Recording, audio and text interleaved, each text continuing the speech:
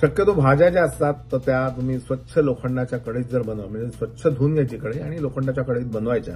आणि लोखंडाच्या कढईत बनवल्यानंतर ती भाजी दुसऱ्या एका भांड्यात स्टीलच्या भांड्यात काढून ठेवायची किंवा काचेच्या भांड्यात काढायची.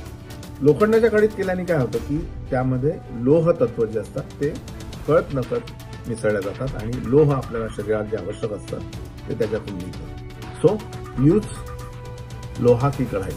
नाही नाही. फक्त ते काढून ठेवण्याचं लक्षात ठेवा. कित्येक वेळा असं होतं की साबुदाण्याची खिचडी तयार करताना साबुदाण्यात दोष असतो भिजवण्यात काहीतरी कमी जास्त होतं आणि ते खिचडी चांगलीच होता तुम्ही काय करायचं की सरळ भिजलेला साबुदाणा जो असतो तो स्टीम करायचा. ओके एखाद्या इडली पात्रात किंवा ढोकळ्याचं जे पात्र असतं त्याच्यामध्ये असा पसरवायचा भिजलेला साबुदाणा त्याला स्टीम करायचा.